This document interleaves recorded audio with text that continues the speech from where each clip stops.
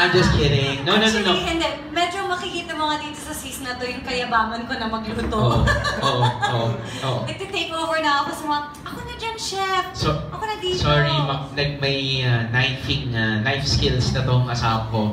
Hindi lang sa pagluluto eh, parang, oh, saan ka rin naman nanggaling? Hmm? Parang- no, but, but uh, uh, seriously speaking, parang we feel that because of, I guess, because Experience. of because experience, practice at home and here, kahit pa paano nag-level up na, nag-mature na yung uh, cooking skills namin mag-asawa. And um, another thing that I think you guys should look forward to with the season are the new recipes. Yeah. We have really good recipes. Even Drew and I, when we were taping the episode, ang hirap mag-pacing ng pagkain. Kasi ang sarap lahat. No, no, no. I mean, uh, we're pretty. We don't. We don't do BS. No, we don't really bullshit. But sobra kaming nabilib because the the the the recipes are so simple. Oo. It's well. That's why it's Well, if, if you were to just look at the name of the recipe, Yeah. which we often can get intimidated with, you could. Yeah. It, it's easy to it, it's easy to get parang blown away, parang wow, kaya ko ba yan?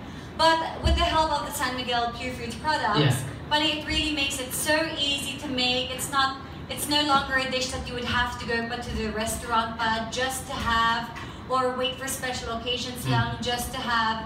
Um, they really make the dishes so easy for you to make na lang at home on a regular day. Right. So to tell us more about these products, and of course, this uh, coming uh, season four is The Chef one and only, The one and only Chef Yan. the bold and the beautiful Chef Yan. The fully made up Chef Yan. She cooks like this. This is uh, this is how she looks when she sleeps. This is how I look when I work in the kitchen. so good morning to everyone. This is how we greet everybody here at San Miguel Culinary. Okay, sabi nga nila, it's Home Foodie Season 4. And what is new? Well, sila pa rin ang new namin. Maganda at gwapo dito. At buntis pa rin. At buntis pa rin for the second time. And then, of course, we continue to give you resto-inspired and classic favorites with new twists or hacks. And we have new members in our team for Home Foodie Season 4. And they are Chefs John Valley and Chef Martin Narisma. So, they will be together with Chef Rene and Chef RJ Garcia. Alright, so sabi nga nila talaga, the dishes that we prepared this year, actually madadali siya. Meron nga medyo yung tricky or parang mahirap gawin talaga sa bahay, pero, you know, we found ways paano natin siya magiging, ah, magiging rightfully home foodie. Sabihin, you can prepare it in your own homes without so much fuss. Alam ko rin na gutom na kayo. So, pero bago tayo kumain ng mabilis, ipapakita ko nga lang sa inyo kung gaano talaga kadali itong ating recipes for Home Foodie Season 4.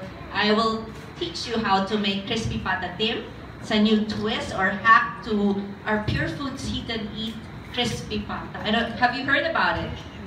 Not yet. So this is a good time for you to taste and get to know itong product na ito.